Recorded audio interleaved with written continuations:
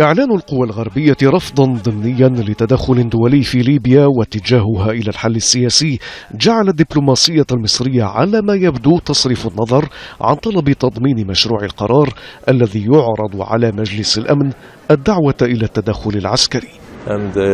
الخارجية المصرية أعلنت أن المجموعة العربية في الأمم المتحدة ستتقدم بمشروع قرار إلى مجلس الأمن يشمل مراجعة القيود على إمدادات السلاح لحكومة طبرق المعترف بها دوليا والإجراءات الضرورية الكفيلة بإجهاض أي عمليات تسليح للمجموعات الإرهابية.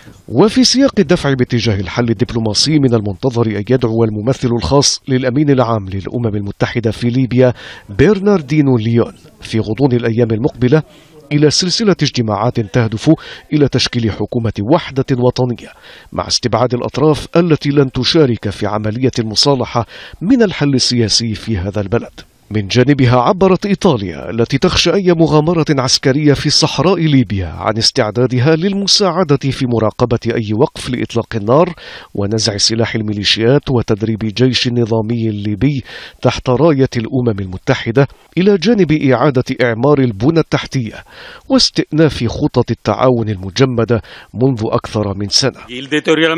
تدهور الوضع على الأرض يملي على المجتمع الدولي سرعة التحرك قبل فوات الأوان.